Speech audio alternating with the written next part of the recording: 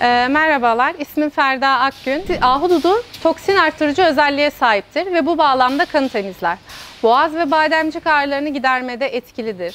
Ee, ahududu insan vücuduna güç ve zindelik verir. Özellikle kalsiyum açısından e, yüksek faydaya sahip olduğundan kemik sağlığına iyi gelir. İdrar söktürücü ve kan temizleyici özelliklerinin yanı sıra içerisine doğal olarak bulunan östrojen sayesinde kadın hastalıklarına da iyi geldiği bilinmektedir.